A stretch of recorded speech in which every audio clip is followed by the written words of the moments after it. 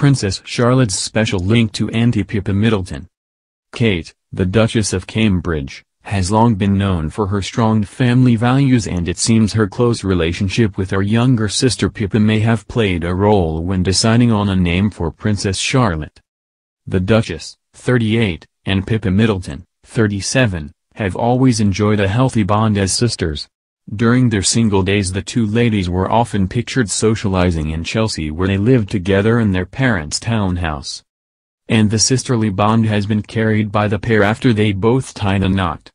In an interview with NBC in 2014 Pippa called her relationship with Prince William's wife very normal and sisterly.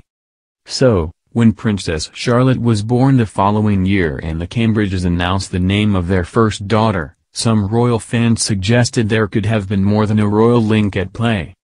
Although Charlotte was seen as one of the most obvious choices for a girl's name as it is the female version of Charles, it is also Pippa's middle name. Speaking in 2014, Pippa said about the Middleton clan, we can be normal with each other and that's kept us all affixed to the ground. And of her bond with Kate, she said, we have a very normal sisterly relationship. We're very close and we support each other and get each other's opinions.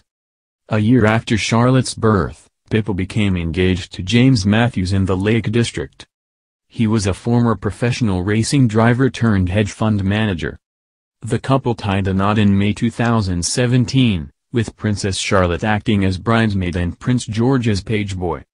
James' father is Laird of Glen Affric, a 10,000-acre estate in Scotland. When he inherits the title Pippa will acquire the courtesy title of Lady Glen Affric. The couple's son Arthur Michael William was born in October 2018. They announced their engagement last October.